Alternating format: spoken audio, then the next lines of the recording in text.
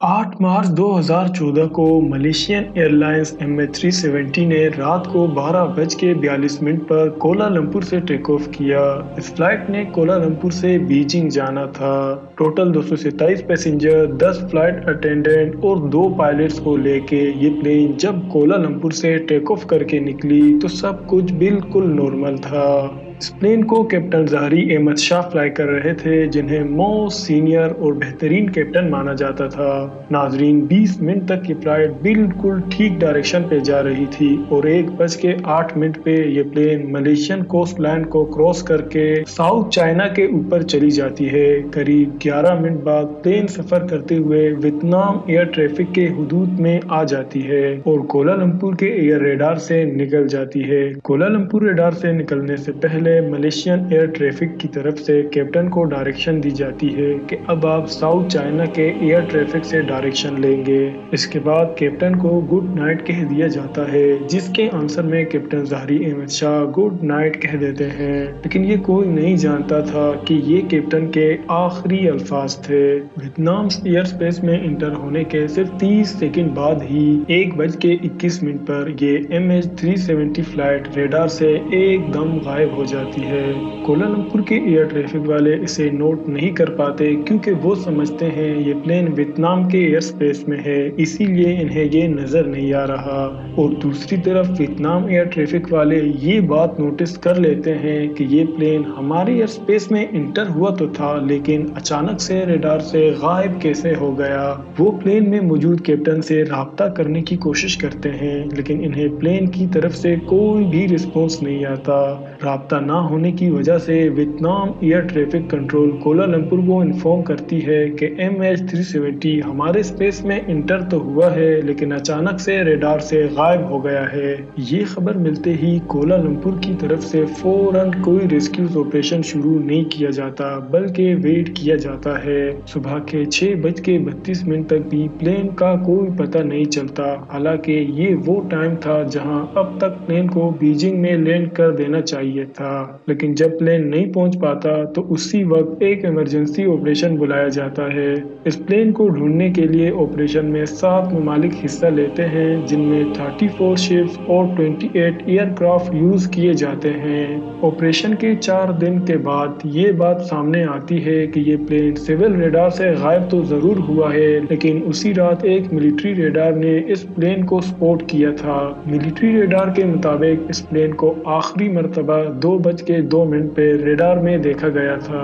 पर हैरानी की बात यह है कि उस वक्त ये प्लेन अपनी डायरेक्शन बीजिंग से बिल्कुल ऑपोजिट डायरेक्शन में, यानी कि स्टेट ऑफ़ मलाका में थी। ये खबर सुन के पूरी दुनिया और परेशान हुई कि आखिर ये प्लेन गया तो गया कहाँ? क्या ये प्लेन हिमालय या काजिकिस्तान के बड़े पहाड़ों में क्रेश कर गया है? ये वो सवाल था जो हर एक के जबान पे था। दुनिया के मुख्तलिफ़ सेटेलाइट्स और एयर ट्रैफ़िक एक्सपर्ट ने इस प्लेन को ढूँढने के लिए सर जोड़ दिए। वो सेटेलाइट्स के ज़रिए मालूम लेने लगे कि लास्ट कौन से एरिए में प्लेन ने सेटेलाइट से कनेक्ट होने की कोशिश की थी। इसी लास्ट लोकेशन को देखते हुए सर्च टीम ने मुख्तलिफ़ एरियाज़ को अंडरलाइन किया, जहाँ इन्हें लग रहा था कि शायद यहाँ प्लेन क्रैश हुआ होगा और उन एरियाज़ में सर्च ऑपरेशन शुरू कर दिए, लेकिन बहुत सारे ऑपरेशन करने के बाद भी प्लेन का कुछ पता न चल सका। आखिर 2014 में समंदर के ऊपरी हिस्से में जो सर्च ऑपरेशन हो रही थी, उन्हें बंद कर दिया गया। क्योंकि सबको यकीन हो गया था कि अगर ये प्लेन समंदर में क्रैश कर गया है तो अब तक समंदर की गहराई में पहुँच चुका होगा। नाजरीन, इसके बाद डीप ओशन सर्च ऑपरेशन शुरू कर दी गई, जो कि तारीख का सबसे बड़ा और महँगा सर्च ऑपरेशन था। कहा जाता है कि इन ऑपरेशन में 160 मिलियन डॉलर का खर्चा किया गया। ये सर्च ऑपरेशन हफ्तों से महीनों और महीनों से सालों तक चलता रहा। लेकिन इसके बाद भी एम एच थ्री सेवेंटी का कोई पता न चल सका कि आखिर ये प्लेन अचानक से कहाँ गायब हो गया है। तीन सालों तक ये सर्च ऑपरेशन चलता रहा, जिसे जिसे आखिर में बंद कर दिया गया। इसके बाद 2018 में एक अमेरिकन कंपनी ओशन इन्फिनिटी ने मलेशियन गवर्नमेंट के साथ एक कॉन्ट्रैक्ट साइन किया, जिसमें इस कंपनी ने कहा कि हम सर्च ऑपरेशन कंडक्ट करेंगे और अगर हम प्लेन को न ढूंढ पाए तो हम मलेशियन गवर्नमेंट से कोई फ़ी नहीं चार्ज करेंगे। इसी बुनियाद पे एक नया सर्च ऑपरेशन शुरू कर दिया गया। इस कंपनी के पास बहुत एडवांस अंडर वाटर व्हीकल्स और मशीनरीज थी, जिनकी मदद से इन्होंने प्लेन को ढूंढना शुरू कर दिया था। लेकिन कुछ महीने ढूँढने के बाद इस कंपनी को भी प्लेन का कोई एविडेंस न मिल सका और ये ऑपरेशन भी बंद कर दिया गया। इसके बाद मलेशियन गवर्नमेंट ने पायलट्स और पैसेंजर्स के बैकग्राउंड को इन्वेस्टिगेट करने का फैसला किया, क्योंकि वो सोचने लगे थे कि शायद ये प्लेन हाईजैक हो गया था, जिसके बाद ट्रांसपोर्टर को ऑफ़ करके इस प्लेन को रेडार से गायब कर दिया गया।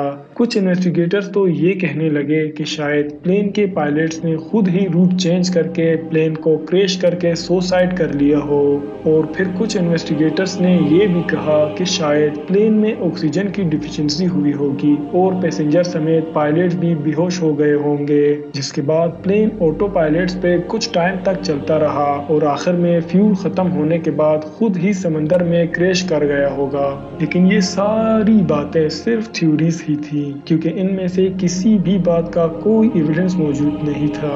आखिरकार सब मायूस हो गए थे कि शायद ये प्लेन एक मिस्ट्री ही बनी रहे और कभी भी ये प्लेन नहीं मिल पाएगी। नाजरीन 2022 में एक retired aerospace engineer Richard Godfrey ने ये दावा किया है कि वो ये जानते हैं कि ये प्लेन कहाँ क्रैश हुआ है और इस वक्त इसका मलबा समंदर के किस हिस्से में मौजूद है। इन्होंने रेडियो वेव टेक्नोलॉजी के ज़रिए कुछ कैलकुलेशन की हैं, जिसके मुताबिक जिन एरियाज़ पे पहले सर्च ऑपरेशन किए गए थे, इन्होंने भी वही का बताया है। लेकिन इन्होंने बहुत नेरो एरियाज़ को टारगेट करके बताया है कि अगर इस एरियाज़ में डीप सर्च ऑपरेशन किए जाएँ तो बहुत जल्द इस प्लेन का तबाह हुआ मलबा हमें मिल सकेगा। फ़िलहाल तो हम उम्मीद ही कर सकते हैं कि पूरी दुनिया को परेशानी में डालने वाला M H three seventy plane का मलबा शायद शायद मिल पाएगा।